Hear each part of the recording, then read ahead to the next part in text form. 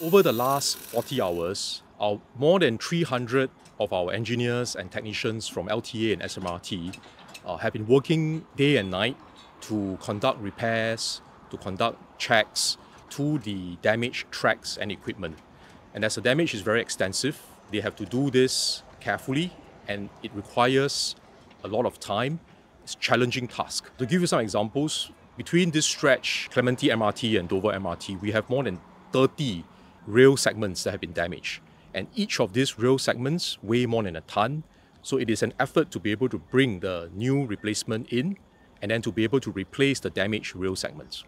On top of that, our workers also have to replace the damaged third rail and the power cables that supply power to the trains, as well as the damaged point machines, which also have to be carefully calibrated and aligned before they can be used.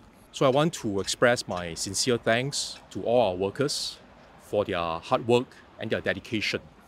They are doing their best to restore full train services as quickly as possible, but to do so safely and then to also conduct the necessary checks and testing to make sure that when we resume full train services, it will be safe for commuters. I also wish to thank our partners in the One Transport family, SBST Tower Transit, for stepping forward to work with SMRT to provide the bridging buses to ferry our commuters.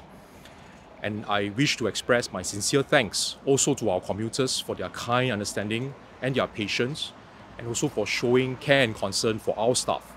The One Transport family, together with our operators, our workers, we pledge that we will do our best to finish the repair works in a safe manner as quickly as possible. SMRT has said that they target to complete this by Monday, and that is our target. We'll do our best to achieve this target together as a team.